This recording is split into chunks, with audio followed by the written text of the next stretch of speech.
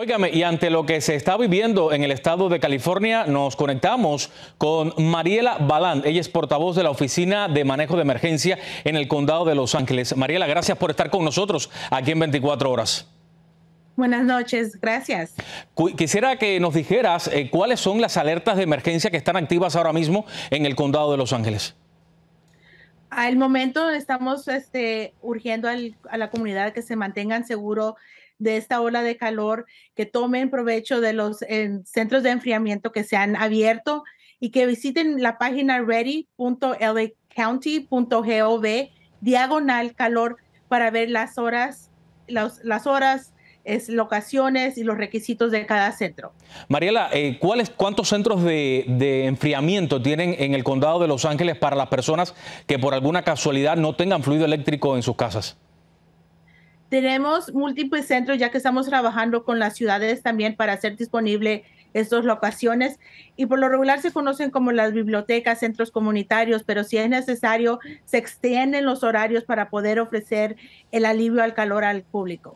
Por cierto, se le ha pedido a la gente obviamente que ahorre energía eléctrica. ¿Hasta cuándo se va a mantener este aviso o esta alerta? ¿Tienes tu información sobre esto?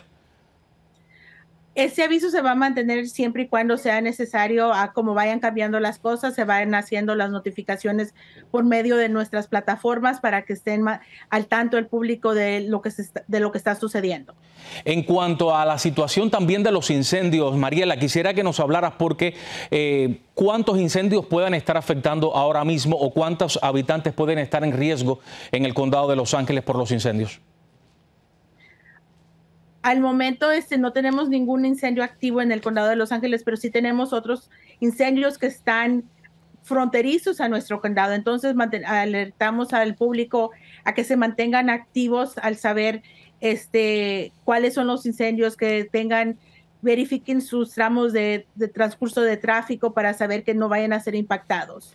Ahora bien, Mariela, me imagino que ustedes estén monitoreando también la situación que se está viviendo con el huracán Kay en el Pacífico.